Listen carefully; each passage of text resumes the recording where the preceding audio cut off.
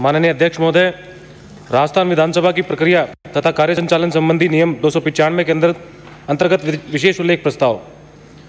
Corona महामारी के lockdown की अवधि के किसानों के तीन माह के बिल माफ़ करने व मुंडावर विधानसभा क्षेत्र में मुंडावर विधानसभा क्षेत्र के उद्योगों में स्थानीय युवाओं को रोज़गार देने के संबंध में।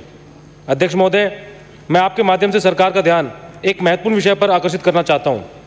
सरकार किसानों को अर्थव्यवस्था अर्थव्यवस्था की दूरी बताती है। और दूसरी तरफ़ किसानों को बिजली के बिलों से व वीसीआर के माध्यम से मारने का काम कर रही है। सरकार द्वारा कहा गया था कि लॉकडाउन की अवधि के तीन माह के बिल बिजली के बिल माफ़ किए जाएँगे, लेकिन नहीं किए गए। मेरा सरकार से निवेदन है कि तीन माह के बिजली के बिलों को माफ़ किए जाएँ, जिससे किसानों को राहत मिल सके। साथ ही कोरोना काल में उपजे हालातों से बेरोजगारी बढ़ी है। अधिकतर युवा बेरोजगार हो गए हैं।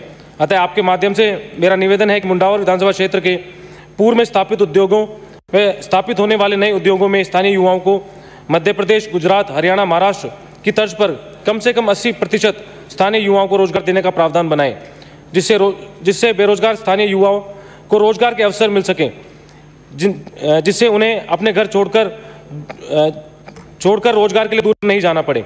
अतः आपके माध्यम से सरकार से आग्रह है कि दोनों विषयों पर ध्यान देकर इन्हें पूरा कर मुझे व प्रदेश की जनता को अनुग्रहित करें। बहुत बहुत धन्यवाद। बिहारी लाल माननीय अध्यक्ष जी, राजस्थान विधानसभा की प्रक्रिया तथा कार्य संचालन संबंधी नियम दो सौ पचानवे के तहत विशेष सूचना पर बोलने का हमने समय दिया, उसके लिए धन्यवाद।